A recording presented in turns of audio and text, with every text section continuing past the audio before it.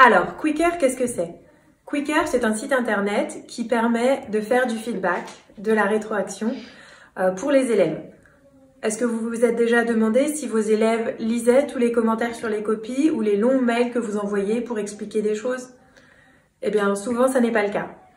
Avec Quicker, vous pouvez rapidement envoyer des liens avec des fichiers audio, des documents images ou bien encore d'autres liens internet qui permettent à l'élève d'accéder euh, facilement et rapidement soit par un lien ou par un QR code au retour que vous lui faites.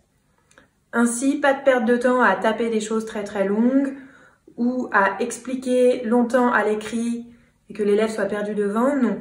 Ici, vous pouvez donc euh, enregistrer votre voix, des conseils pour les élèves qui entendent aussi le ton et qui ont la possibilité de réécouter, joindre un document, par exemple une photo d'une copie annotée ou d'un travail euh, avec des schémas, des commentaires, ou bien encore le lien vers une activité de remédiation.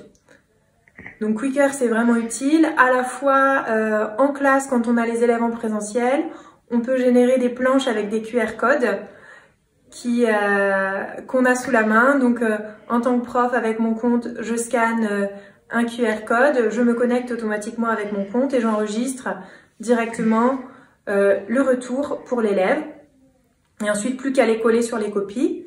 Sinon, très facilement, depuis le site internet, on peut créer un retour alors on n'est pas obligé de choisir entre un retour audio ou par image ou par lien, on peut combiner.